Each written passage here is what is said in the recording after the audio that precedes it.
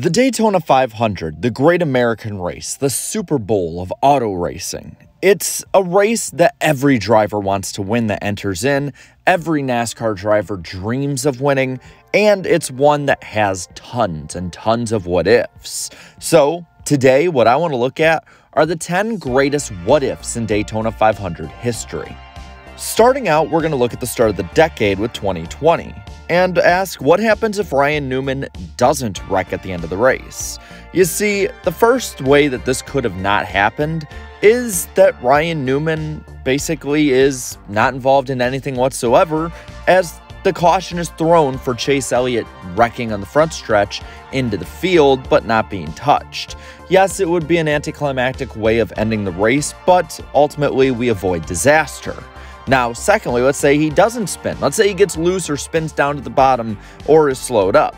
Well, Blaney and Hamlin probably have a legendary finish still, as in the actual running, before the caution was flown, they had an amazing side by side run. Or third, maybe he performed better altogether and won the Daytona 500, and maybe is still even racing in the NASCAR Cup Series today as he doesn't have an injury that hampers his abilities. Next, we'll go back to another election cycle in 2016 and say what happens if Matt Kenseth doesn't throw the over-aggressive block on Denny Hamlin. Kenseth seemed on his way to winning a third Daytona 500 in 2016, but his teammate Denny Hamlin had other ideas charging through the pack. Kenseth throws a block and fails miserably. See, I still think Denny Hamlin is going to race to the win on this one, but I still also think we're going to get a legendary side by side finish, and Matt Kenseth has a shot at winning this race instead of fading back into the pack after making a pretty amazing save. Now, 2011. That one is an interesting one. It has a little to do with winner Trevor Bayne, but it's what if David Ragan doesn't jump down early on what would have been the final restart. See, he worked in a tandem with the two car tango with Trevor Bayne all day. The two were a great pairing and ultimately were one of the best up there because they just avoided all the wrecks, worked together perfectly, and on a final restart, well, they had it perfected, just not enough. They had it perfected too early as David Ragan changed lanes before they got to the finish line. So I'm saying I honestly think the race comes down to the 6 and the 21 and maybe Trevor Bayne wins it in a really good side-by-side finish or maybe David Ragan just has what it takes to win and he is remembered as the 2011 Daytona 500 champion. Now, going back to 2010, let's go back to what I think is the highlight of the season for me as a Dale Jr. fan and ask what happens if Dale Jr. doesn't get squirreled up while going three wide. Dale Jr. had restarted 10th with two to go. He was the fastest down the backstretch all day, and in his hard charge from 10th to 2nd, he made an amazing three wide move up the middle that ultimately gave him a shot at winning. But in doing so, he got a little loose. The cars were very hard to handle in this race, and Junior almost had to save it from wrecking because of how aggressive the move was. But let's say he doesn't go a little over, he doesn't wiggle, and he uses that run that he had to almost get to McMurray's bumper to actually get beside him. Well, if the 88 car gets beside the one with how prevalent the side draft was, it is very likely that Dale Jr. can slingshot himself by McMurray and be the 2010 Daytona 500 champion. Now back to the first COT Daytona 500, let's ask what happens if Stewart tries to block Ryan Newman. Tony Stewart never won a Daytona 500 in his career, but the closest he came was 2008 when he led at the white flag and led onto the backstretch. But he decided to drop low and draft with teammate Kyle Busch, who did not have any momentum, and Stewart stalled out halfway down the backstretch, giving the opportunity to Ryan Newman and Kurt Busch, the Penske duo, to go 1 2. But if Tony Stewart stays high, I think the 2 and the 12 still work together and try and pass. But with how aggressive Stewart would be in that moment, it also might cause a giant wreck, and we might see somebody out of the pack win the 500. Now, from a heartbreaking loss to what many see as a heartbreaking blunder, what if Sterling Marlin doesn't get out of his car and try and pry the bumper in the red flag?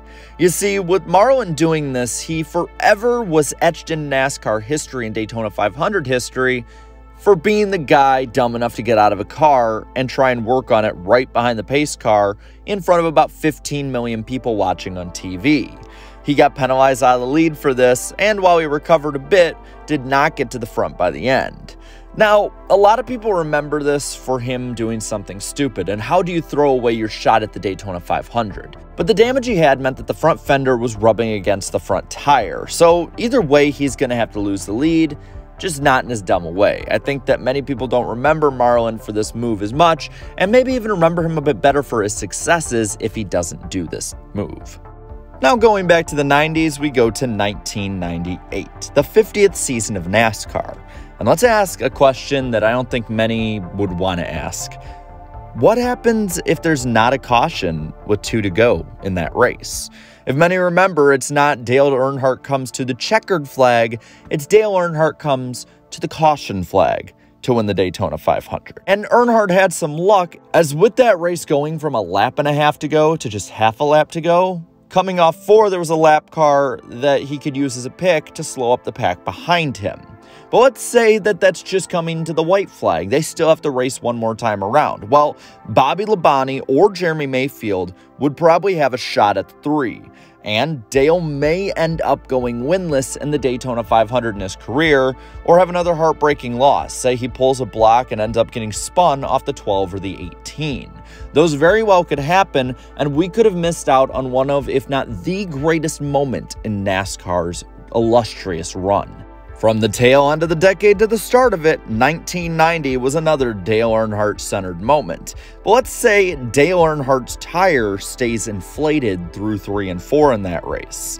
See, with Dale Earnhardt's flat tire, it gave Derek Cope the ability to win the Daytona 500 in a pretty amazing underdog story. But if there's not a flat tire with how good Earnhardt was that day, I say the Intimidator cruises to victory in 1990. We don't get one of these giant storylines like we had of 20 years of trying. Instead, he just wins after 17 years of trying happened the year before. And in this, Derek Cope would not be as prevalent today or probably remembered whatsoever. And he would probably honestly just be remembered for being a one hit wonder later in the season at Dover. Now with the last two options on this video, we're going to go to two historical landmarks in the race's history, starting with 1979, and ask, what if the fight doesn't happen? What if everybody just says, hey, Rubin's racing, it happens, we'll get him next year, and walks off with arms over their shoulders into the ambulance or into a car or into whatever was going to take them to the infield, and they just say bygones be bygones. Well, I think with the fight, it was so huge in pushing NASCAR to the general public audience that we see a huge difference long term. Maybe many people just turn off the race. Oh, it was somewhat entertaining, something to do while we're snowed in, but that's about it. And you don't make generational NASCAR fans out of it. The 1979 Daytona 500 didn't immediately put NASCAR into the top 5 or even top 10 of most popular sports leagues, but it started it on that trajectory. And you may have seen a smaller burn, maybe a bigger flare up, or a smaller flare up, and NASCAR never reaches the heights that it actually did without this race happening. And lastly, we go back to the very beginning with the inaugural Daytona 500 and ask what if there wasn't a photo finish? There was a three wide finish with two cars being in contention to win the inaugural Daytona 500, and it cost NASCAR three days of saying they didn't know who the winner was when they did to get tons of drama and intrigue about the winner of this race until a photo came forward. A photo that is still famous today. And if this doesn't happen, well, we may have a different tone for the Daytona 500. Well, then we may be seeing the Daytona 500 just be another race or maybe a crown jewel, but not on the level it's at today. Now, with that, I want to pass this all on to you and ask what are your biggest Daytona 500 what ifs? Let me know down in the comments below. And while you're at it, leave a like on this video, share this video, and subscribe to my channel for more great NASCAR content. Thank you so much to all my channel members for your continued support. And also be sure to watch the NASCAR Weekly podcast tomorrow night at 8 p.m. Eastern Time on this channel. So until next time, have a good one.